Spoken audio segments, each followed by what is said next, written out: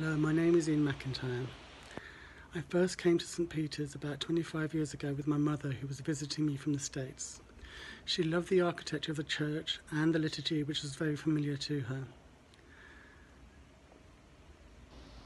I was born into the Anglican faith and was christened in Khartoum, Sudan, the country of my birth. At 13, I chose to become confirmed and was confirmed by the, uh, uh, the Bishop of Salisbury.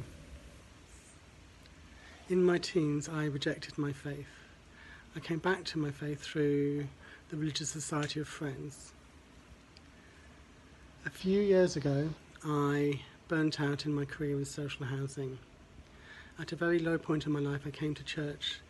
In notices after Sunday, Father Andrew announced that St. Peter's School was looking for volunteers. It felt like God was opening doors for me. I contacted the school and I volunteered for a year and have now been working in the school for over 10 years. I love my job and I feel very blessed in my life. I have uh, St Peter's is the congregation is very diverse, it's very warm and welcoming, and I feel at home and I feel accepted at St Peter's. I feel very blessed. I have two faith families, Quakers and St Peter's.